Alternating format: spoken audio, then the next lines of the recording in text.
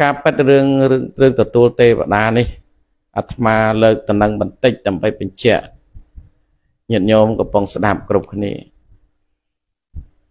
អាត្មាភាពមិនមែនហាមមិនមែនមិនអោយថ្វាយទេការថ្វាយចោះជាទំនៀមទម្លាប់របស់ខ្មែរយើងវប្បធម៌របស់ខ្មែរយើងដែលបានចងក្រងមកជារបស់ខ្មែរនៅក្នុងការថ្វាយចំពោះទេវតាអញ្ចឹងគឺការថ្វាយហ្នឹងយើងមានផ្លែឈើអីយើងដាក់ថ្វាយទៅ បើនិយាយមែនទែនទៅទេវតាហ្នឹងចោះមកមិនមែនសោយផ្លែឈើឬញាតញោមថ្វាយហ្នឹងទេញាតញោមអើយណែសូមបញ្ជាក់កន្លែងហ្នឹងណាញាតញោមរឿងការទទួលទេវតាហ្នឹងណាទេវតាមិនមែនចោះមកសោយផ្លែឈើដែលញោមថ្វាយហ្នឹងទេហ្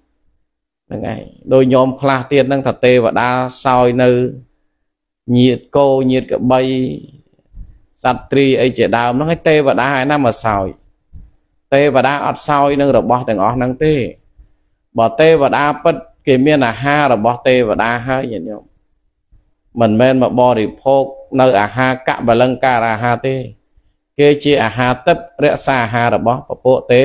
ទេវតាគេមានអាហាររបស់គេតា អាហារទេវតាមិនដូចជាអាហាររបស់យើងទេអាហារទេវតា គឺជាឲ្យជារស់មួយយ៉ាងពេលណាបរិភោគទៅធ្វើឲ្យសាច់នឹងភ្លឺល្អរលើបរលោងហើយក្លិនក្រអូបអត់មានលិមួកចេញមកទេអូអត់មានកាកអីចេញមកដោយកាកបលឹងការអាហារទេយើងសពថ្ងៃហ្នឹងមនុស្សលោកបរិភោគអាហារចូលទៅមានចេញមកវិញទាំងអស់កាកនៃអាហាររសជាតិនៃអាហារជួយឧបត្ថម្ភរាងកាយឲ្យទ្រទ្រង់ប្រព្រឹត្តទៅបាន តែទេវតាអត់មានទេតែដាក់ចូលទៅអត់មានកាកមានអីទេព្រោះអត់មានញើសមានក្អែលអីទេណាអត់មានទេបង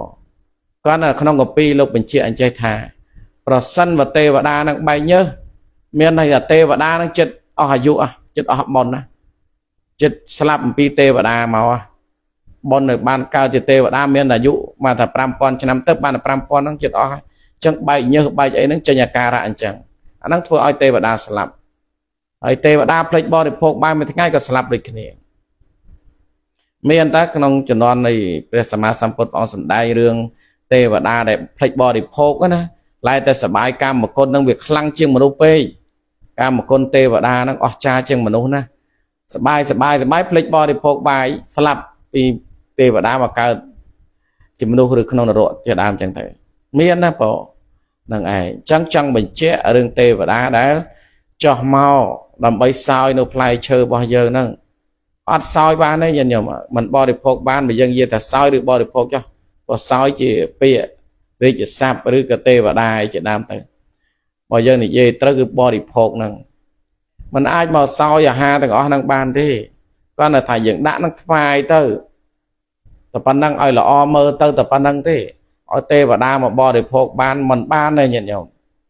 នឹងដោយរហូតអ្នកខ្លះយកពាក្យហ្នឹងទៅឲ្យទេវតាឲ្យមកបរិភោគត្រីញាតគោញាតគោញាតកបីឯណាទៀតខុសចាកទាំងអស់ហ្នឹងទៅអូអញ្ចឹងយើងកុំចេះតែជឿប្រកាន់អីចឹងខុសជំនឿខុសហេតុផលការពិតបើសិនតែយើងថ្វាយទេវតាយើងមានផ្លែឈើអត់ដាក់ថ្វាយទៅនឹងរឿងដែលយើងធ្លាប់ថ្វាយមកហើយប៉ុន្តែឲ្យទេវតាមកបរិភោគមកសោយផ្លែឈើអាហាររបស់យើងមិនមានទេអត់ទេ គាត់ថាបើចោះមកថែរក្សាមែននឹងឯងរឿងទេវតាហ្នឹង